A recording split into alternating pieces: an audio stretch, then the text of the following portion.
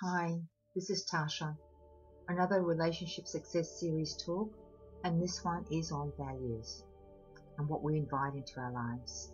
So, my student and I are having conversation on this one. Welcome in. Okay. When we value ourselves, we invite what we would value, and we literally overlook what won't. It doesn't get it. It isn't attracted to us either was certainly not attracted to us. They're, they're attracted to us like a magnet because people love success. Hmm.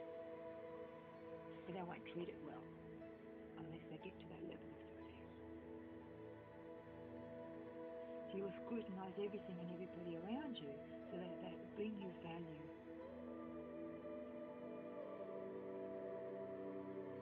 So the moral of this is, is when we value ourselves, we bring more value to the people that care about that. And we invite more value back in. So there's interweaving interaction with valuable people who are not going to misuse us. And this is the biggest challenge most people have. Their loyalty is in the wrong place. They try to give too much of themselves, thinking they're doing the right thing, where in fact they're actually destroying themselves for when those particular people will actually need them on a, on a deeper level. And you won't be available to them because they haven't learned to value you yet now.